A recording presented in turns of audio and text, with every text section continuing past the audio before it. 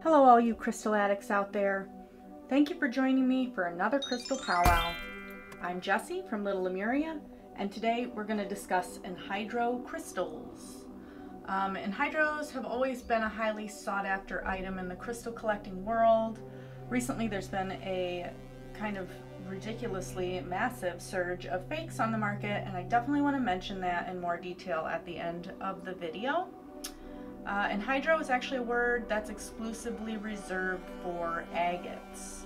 Uh, the agates I'm talking about have large fluid cavities um, in the center of them that they're, uh, the outside is not clear. Usually you have to put a backlight behind them and you kind of jiggle them around. You can see the fluid inside. And those come from Brazil. Those are pretty rare. Those are also um, rehydrated sometime uh, but it's not as commonly faked as what I'm going to tell you here at the end of the video. What we're going to look at today are called fluid inclusions, and I'm going to show you a bunch of genuine pieces. Uh, a lot of the pieces I have here are from Namibia, and then I also brought uh, here to show you a piece of amber with a fluid inclusion, and that is from Colombia.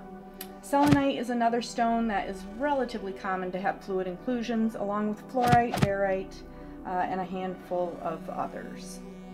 So when quartz forms, it begins the crystallization process in a liquid solution underground. As the layers crystallize, defects in the formation cause the entrapment of the fluid in the environment. So the trapped fluid could be a liquid, it could be a vapor, or a supercritical fluid. Uh, in all of the studies I've read, which I specifically only read peer-reviewed scientific studies and even thesis papers, um, and I'll go ahead and leave some links in the description, these bubbles are measured in micromillimeters under a microscope and on up to millimeters.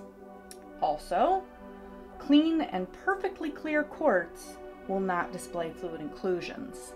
Uh, so if the crystal is forming with defects, uh, you're going to see sort of defects throughout the crystal.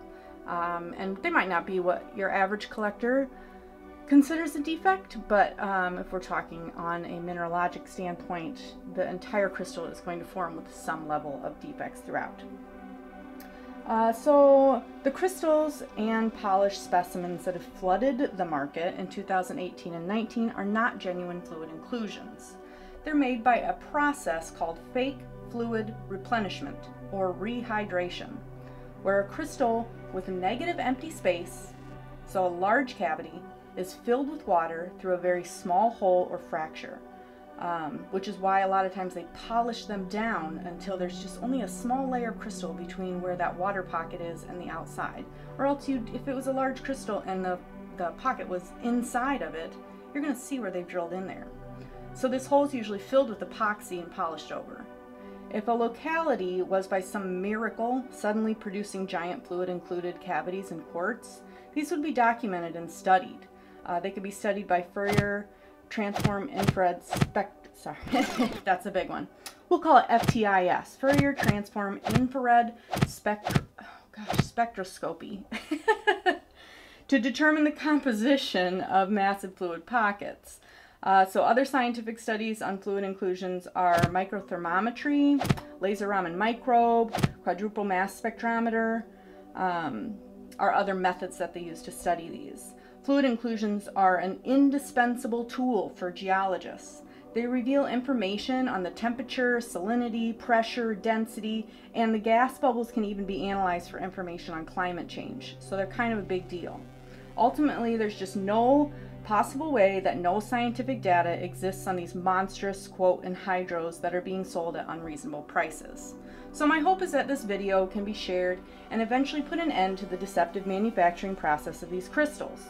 There are many amazing, truly genuine fluid included crystals available on the internet to purchase, and while the pockets may be small, they hold a wealth of data so huge it's hard to comprehend. So support those people selling the genuine fluid inclusions. They're fascinating, they're amazing. Um, and the other ones, if you like the way they look, go for it. Um, just know that they have been uh, rehydrated and they look pretty dope, but they're probably not legit.